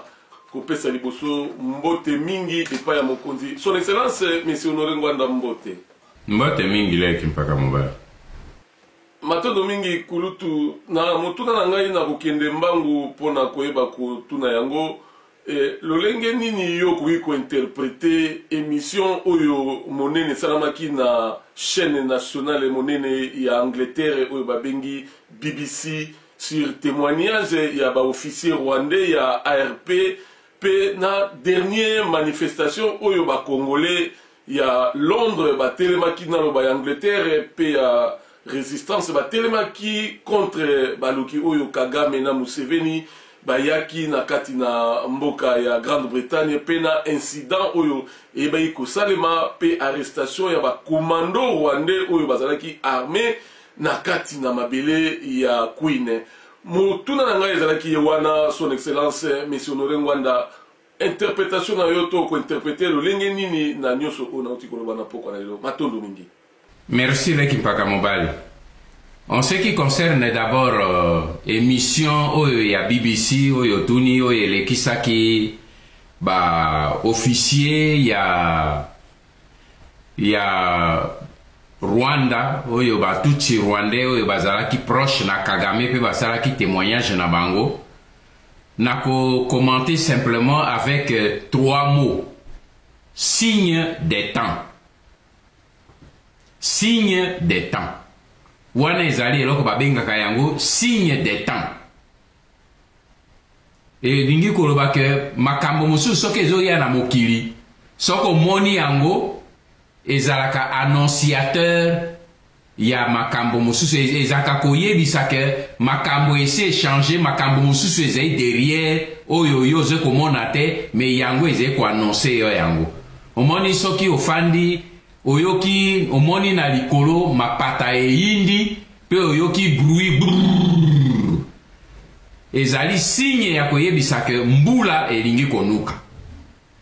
Ezali ndenge moko soki oze komono oyo nyonso ezo koleka na BBC wana ezali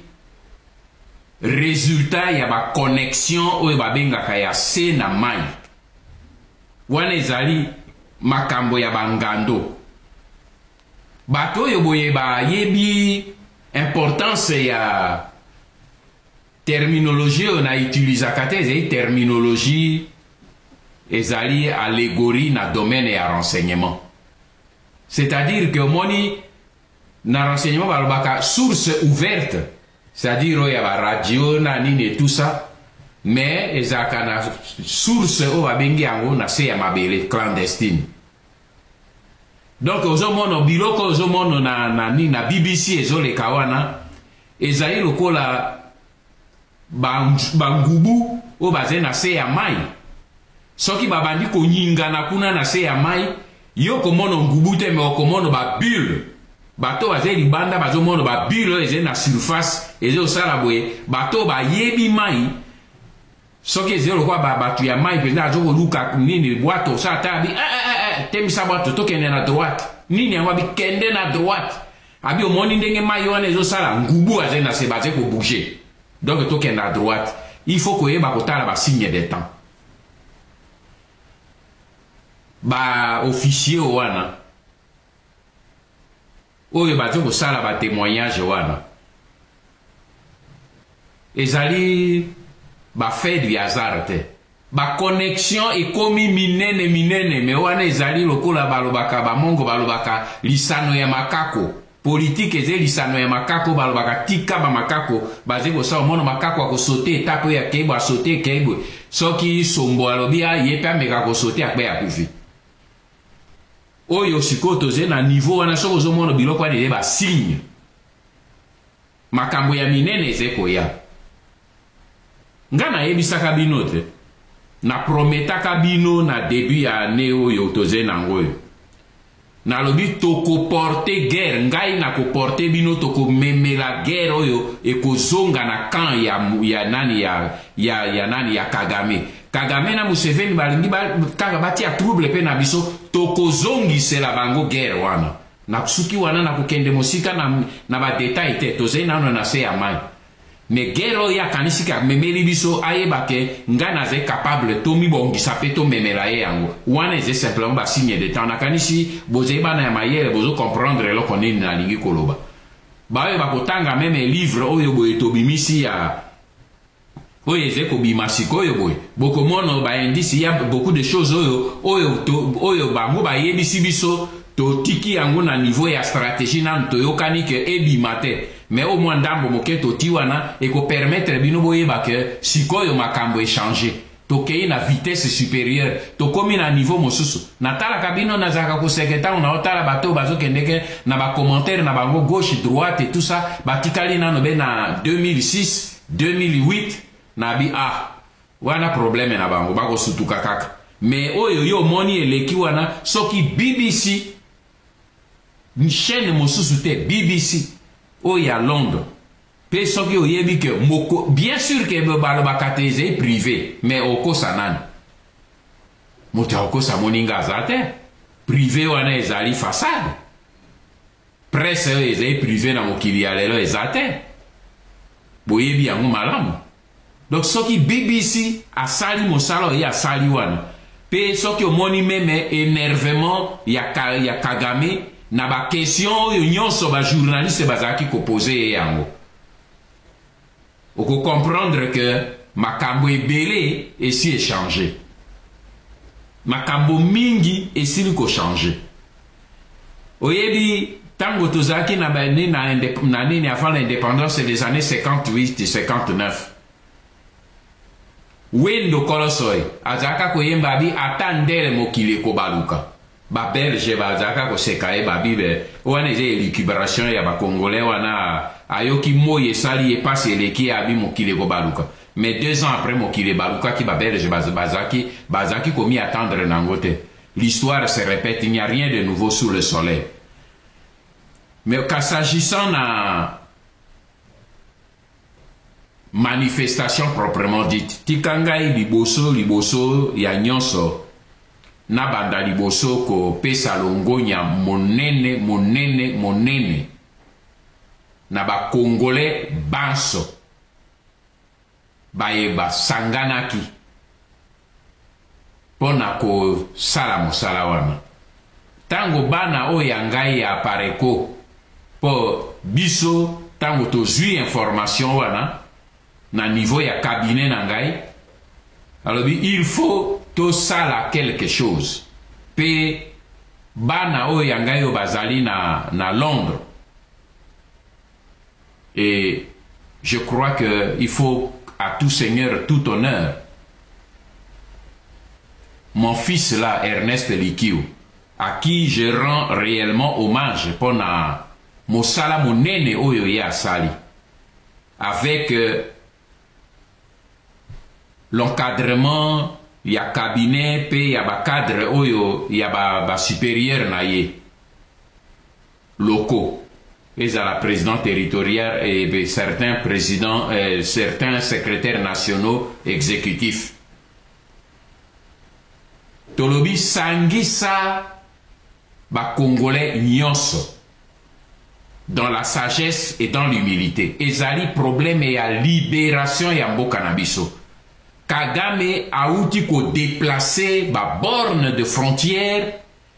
et ayebi ndenge nini ye na kanambe bayokani mpo na place oyo ya ko deplacer bayebi eloko ezali na se alobi maintenant que nazui biloko ya officiel nakenda vite mpo na koluka ba investisseur il fallait lui assener un coup dur mpo na ko bloquer processus wana alors sangisa bana kongo nyonso et c'est ce qui a été fait C'est pour ça que je tenais à les remercier, à leur rendre honneur. Et pour une fois, au moins quand il y a l'unité entre les Congolais, malgré les difficultés pour y parvenir, mais quand nous parvenons à l'unité de l'action, le monde nous prend au sérieux. Les gens, les autorités, la police britannique nous a pris au sérieux. Les Yoboye, avec l'action qui a été faite, avec les documents qui ont été communiqués, de transmettre Bango la déclaration politique et pour aux 140 entreprises oyo ezalaki wana totransmettre mpe memo commun oyo bacongolais ba nyonso basalaki na uk me baeffet mpe bareaction oyo nazali kozwa lelo sur bacommunike wana ezali fantastique me ngonga ya kobimisa ko, ko yango na esi te tozotraite le dossier Alors je dis chapeau. Felicitations. C'est comme cela qu'il faut tout ça capon en boca na biso. Mais cette, cette manifestation nous a permis de découvrir à quel niveau aussi l'ennemi est déterminé à faire main basse sur notre pays. Na sepeli mingi po cette fois-ci bino moko bo mi rendre compte na détermination na bango. Eloko oyo eleki na nini na, na Londres ezali kotalisa d'abord que Nzambe oyo tozali kosambela ye moto azali kobundela biso. Parce que nazoloba yango en l'air te, disposition na ba renseignements oyo ngai nazali na yango oyo nazwaki mpe oyo nauti kozwa les dispositions bato wana bazwaki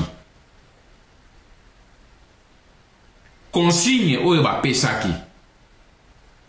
balobaki manifestation ya londres comme bacongolais baze determine mpo na koya kobloke ko bacongolais ya diaspora comme diaspora ya londres ezalaka komi estime pionnier pe ezali nini tete de pont ya resistance ya ba congolais na manifestation oyo il faut bolalisa bibembe misato na, ya bakongolai na se lokola bango babangaka ba liwa ekostope maintenant elan na bango Mais Nzambe azali Nzambe. Toyebaki comment ils allaient s'y prendre te. Mais ye moko aye kobimisa bango pwasa. Mais boyeba ke ezalaki un plan et une instruction pe topesi ba éléments supplémentaires tozui to communiquer yango pe na ba autorités ya mboka wana. Na kati ya mikolo eze koya Le processus eko continuer ya dossier wana esili nanu te ezali ouvert na mboka oyo ya Londres ezali ouvert ba autorités bazali derrière yango parce que avec ba éléments oyo bango moko bazwi na oyo tozotindela bango ba mi ba mi trouver devant une situation grave oyo ba, ba, ba rwandais bazali déterminer basala yango na territoire na bango esalemaka te Mais rwandais akipaka wana te. Il ya eu un temps où kagame a menti au monde entier mais il ya maintenant un temps où le mensonge prendra fin. Voilà pourquoi tobimisi livre wana ya strategie du, du, du, du chaos et du mensonge po ekotia à nu tout le mensonge de ce bonhomme mais Na oyo ewuti kosalema na nini na Londres ezali reussite moko monene e servir bana nini bana ya Congo oyo ya ba mboka mosusu nionso mpo ba mekola exemple ya bana ya Londres. Ezali problème ya un parti politique te ba leki na ngai. ah c'est tel parti qui a fait c'est tel parti le congo n'appartient ni à, la pareco ni à l'udps ni au mlc le congo appartient aux congolais les partis politiques disparaîtront les leaders politiques disparaîtront mais le congo restera le congo pour les congolais ne l'oublions pas merci beaucoup Matondo mingi, matondo mingi son excellence eh, na motuna na peki ya eyano kitoko na pokwa na lelo, ndenge kaka balobaka Nzambe azali papa responsable ndenge yo poza responsable ya eloko oyo otelemisaki la resistance nazongi mbango epai ya ndeko na nga nyoka wa bulanda na congo horizon oyo asangisi echo de la resistance matondo mingi watupa maloba ezongi epai na yo Merci, merci mingi confrère Mpaka Mobali en direct ya Radio TV Polele motuna kitoko eyano pe kitoko ozali kouta epai ya moto yambo ya Alliance des Patriotes pour la Refondation du Congo. Vraiment euh, mokonzi na réponse na Mpaka Mobali outi ko euh, effleurer un petit peu dimension oyo ya buku buku oyo monene outi ko annoncer que kala te ekokomaka na maboko ya bana mboka Mpo ete to continuer kolia bilei oyo, nalingi un peu nayeba buku oyo e creer tsunami moko ya kosakana te, kasi yebisa biso ba conditions ya kotekama ya buku oyo ekozala ndenge nini et bana mboka bakozwaka yango wapi? Et en meme temps mokonzi meke oyebisa ngai cote ya ba occupants reaction na bango ezali ndenge nini? Monsieur Honoré Nguanazambo Koatumba. Merci Gregoire, nakozala mokuse. Euh, oyebi livre wana soki to annonsaki sorti na yango ezalaki motambo ezalaki lokola ndobo tobwaki mpo totala ndenge nini banguna bakoreagir mpe disposition nini bakozwa tomoni badisposition mpe bareaction na bango c'est au-delà de ce que nous attendions ba, basali mobilisation moko oyo soki omeseni na bitumba te epesi yo somo todiscutaki mingi avec euh, mama candide directrice ya cabinet na ngai avec son adjoint bokulu mpo totala badisposition nini oyo tokokamata maintenant avec euh, responsable oyo ya ba réseau de sécurité autour de moi pour to contourner ba obstacle wana nakoki koloba yango likolo na ngomba te bango bakamati ba disposition et permettre biso maintenant mpe tokamata ba disposition ezali un livre de 657 pages toko fixe nini l'éditeur asili mpe kofixe prix epuis fixaka prix ngai te ezali biso l'auteur ne fixe pas, ne fixe pas le prix c'est l'éditeur qui fixe le prix bokozwa prix kobanga te bokozwa communication tozwi to quelque temps de, de, de, de, de, de repli mpo to, to contourne ba manœuvre oyo basali mpo na koluka réellement mpo baze kolala pongi te ils sont malades nakoki koyebisa bino ils sont troublés ils sont malades ils ont compris que ça va être une bombe pour eux bakozala mise à nu Ndenge maman Candide Okeke alobaki na bino que ce serait une bombe parce que c'est que je sais ce qu'il y a là dedans, ce que nous avons mis là dedans. Mais mpo na ngai ezali bombe mpo na bango te, mpo na ngai ezali plus arme mpo na bino. Mpo ekopermettre bino réellement cette fois pour ceux qui veulent s'informer moto ya koya koraconte yo lisusu lisolo sur euh, les grands lacs azali te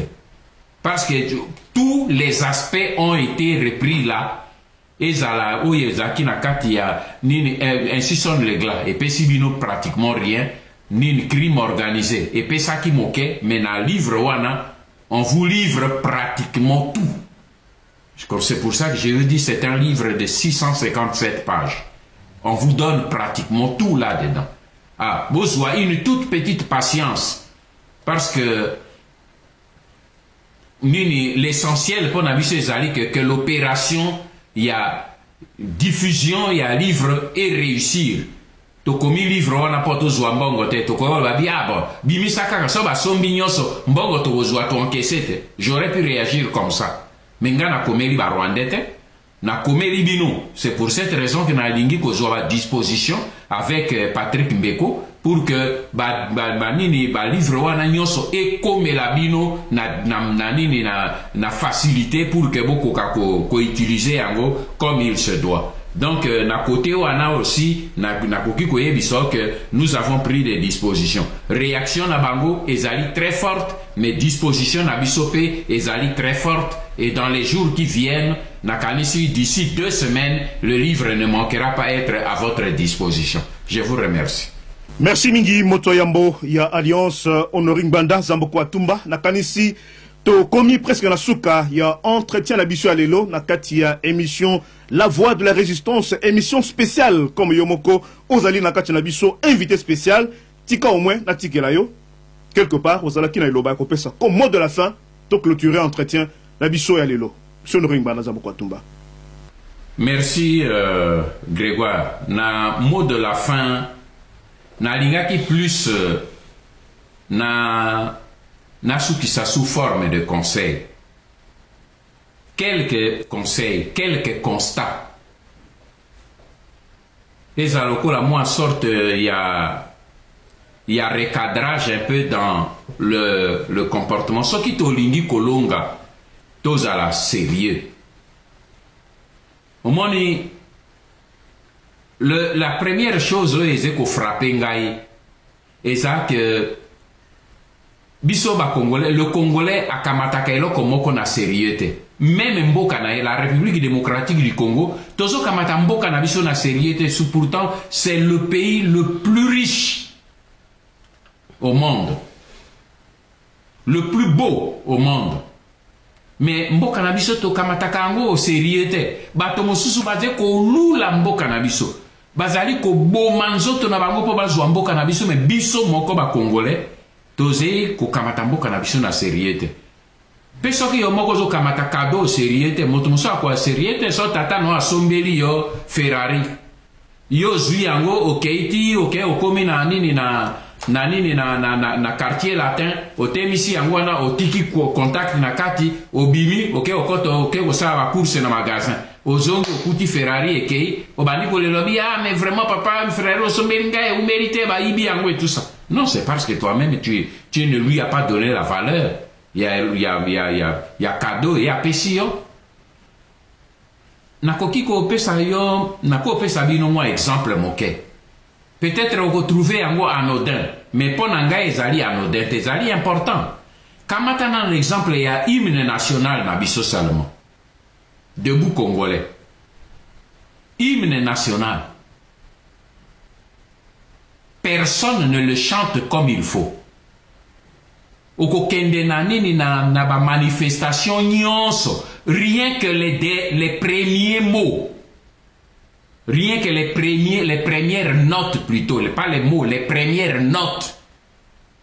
Oyo ya debout congolais.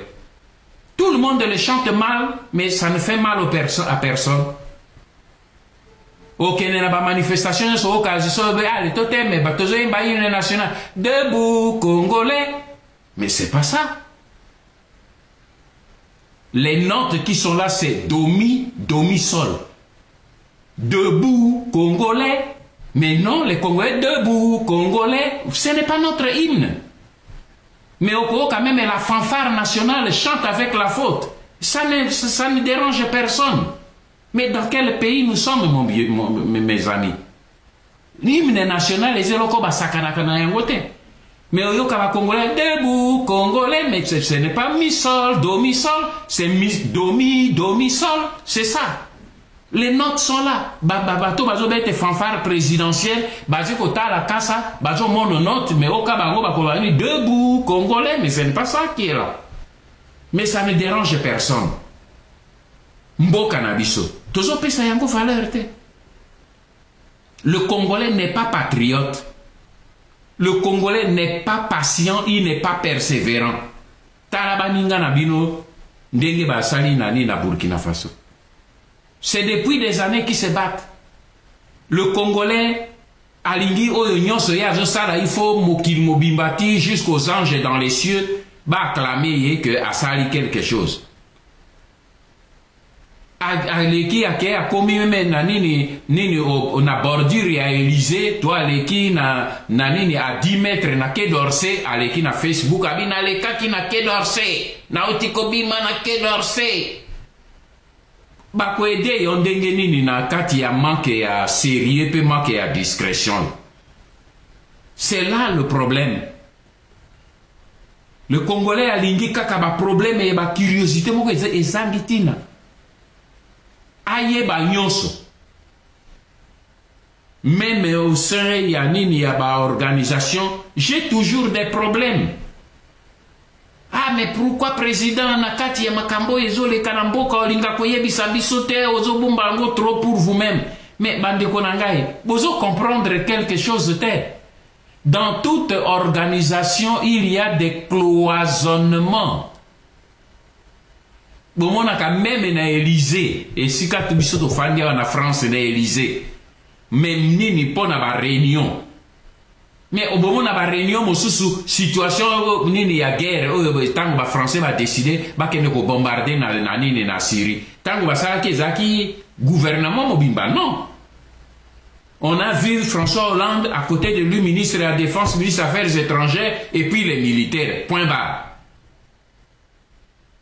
Bon, ministre ya interieur ayabi yo ndenge nini obengisi collègue na ngai ya défense me ngai naza te mais, mais c'est comme cela que les choses de l'état fonctionnent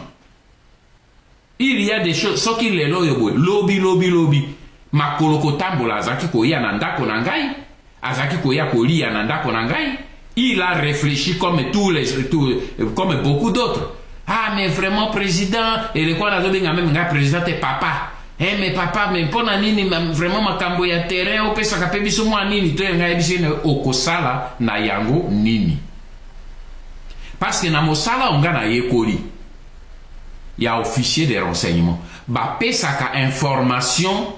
pour quelqu'un dont il a besoin soki lelo nalingi napesa yo information il faut que information wana eede yo na kosala quelque chose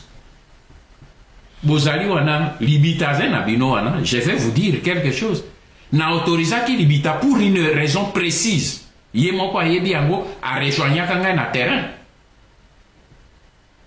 na autorisaka ye azwa accès na ba, ba, ba domaine moko na terrain mais eleko wana azalaki kozwa ba information sur ce domaine là na terrain lelo oyo boye azali meme etats il y a des choses oyo ye ayebi yango mais un cadre de la pareco oyo azali pembeni na ngai ayebi te c'est tout à fait normal Congolais aza na sens ya koyeba difference entre grade na fonction te. Oyebi quand j'étais conseiller spécial ya président Mobutu. Il arrivait des moments où na yei na dossier ezali urgent et important, son akomi Bayebisi ya bino le president est dans sa chambre aze ko aze kopema abi nini so opesa nini document na nini na maître azokita azo opesa ye document amemela ye na chambre ngai conseiller spécial maître wana Azé en garde vous devant moi mais lui, il a le droit d'avoir accès dans la chambre à coucher à président de la République, moi pas conseiller spécial, C'est ça la fonction. Il y a des gens qui, par leur fonction, peuvent avoir accès à certaines informations que même Yomoto Ozali gradé au Kokiko. Ce sont des petites choses, mais c'est important que Congolais un imprégnés mais comme la jeunesse congolaise d'aller sorti de la cuisse de Jupiter, il ne veut pas prendre le temps pour apprendre, il fait des leçons à tout le monde, il proteste, il, respecte quand il veut. C'est ça le problème. Aujourd'hui, la jeunesse congolaise n'a pas honte du mensonge.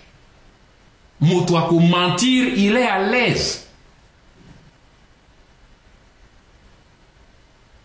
C'est pour cette raison que nalobi le changement oyo toze kosala pona mboka na biso ezali simplement kobengana ba paya te ezali pe kobengana ba biloko ya mabe ezali na kati ya mito na biso pe na mitema na biso c'est le changement de tete et de cœur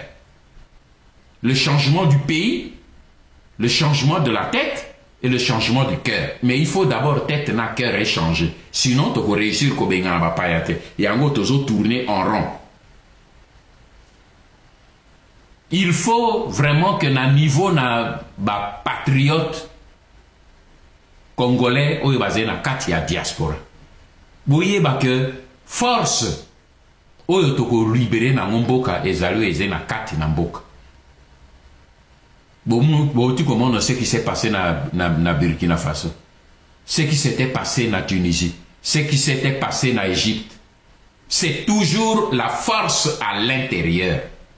yango nazotia mayele na ngai force na ngai nyonso na ba baza na kati meme ba collaborateur na ngai na kati ya pareco nazolobela bango maintenant chaque fois na bi botika ko distraire ngai na babiloko na bino ya libanda parce que mayele na ngai na makanisi na ngai maintenant nyonso ezali focaliser vers bao baza na kati ya mboka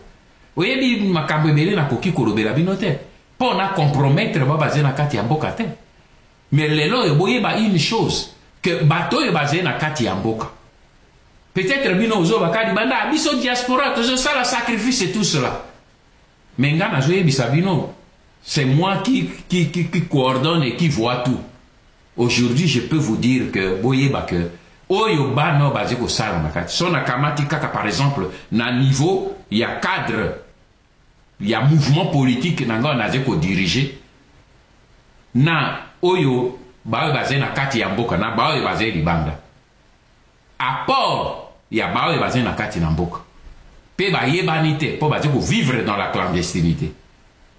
ezali de loin de loin supérieur na oyo ezali libanda il y a des gens tous les mois Bazo somba ba carton ya soso tous les mois, bazo somba ba carburant tous les mois, bazo ko somba loso,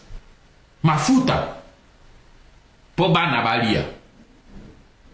Nalobi yango likolo na ngomba po nayebi ke basila ba ba ba ba ba bima bakende ko ba ba ba ba ba nongi ba ba traitre basi bayebisa bango me bakozua bango pe te. babia tozuaka kaka biloko oyo eyaka me bato basombaka biloko wana babiloko ya kolia eyaka régulièrement banini nyonso tu tozozanga rien me banani oyo batindaka biloko wana toyebi te me oyebi combien ça coûte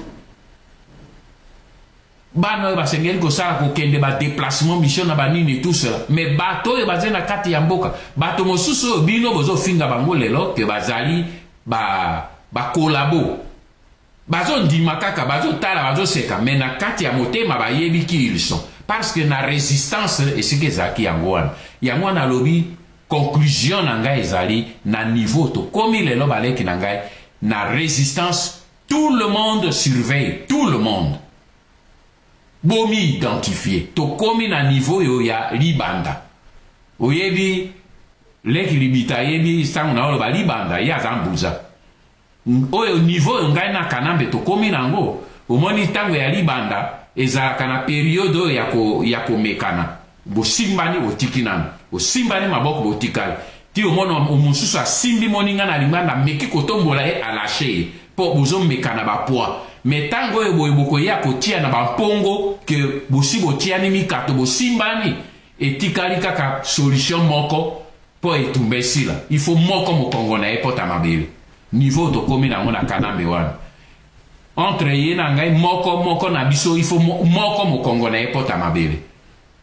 c'est pour cette raison que na niveau tokomi nango tozokota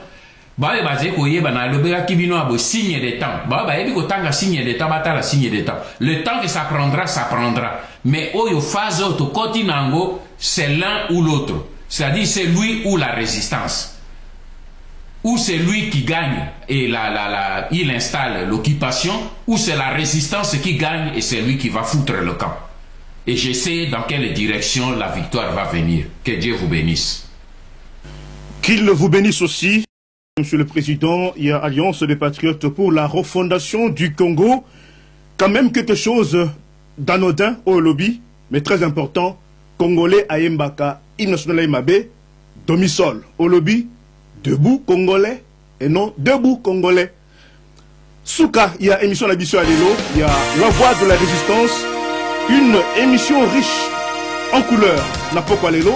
Merci mingi, bozalaki très nombreux branchés sur nos médias patriotiques Radio TV Bendele, Radio TV Lobiko, Radio TV Polele na Congo Horizon. Na kombo ya ba confrères na nga libita libongo ya radio bendele, ndeko Jerry ya radio lobiko na mpaka mobali ya radio polele et en mon nom propre excellence tozali kopesa yo merci mingi mpo na disponibilite na yo et surtout en dépit ya agenda na yo très chargé ondimaki na poko lelo osolola na bana mboka tobeti masolo na makambo ebele Kasi na pokwa lelo, bana mboka ba apprendre makambo oyo ya motuya na kati ya etumba oyo ya kosikola mboka ya ba nkoko. Merci à tous les auditeurs, merci na ba audience bazalaki branché na ba chaîne biso patriotique. Ezalaki la voix de la résistance spéciale. Merci encore une fois de plus. Et pour Nangai Grégoire Nalobi.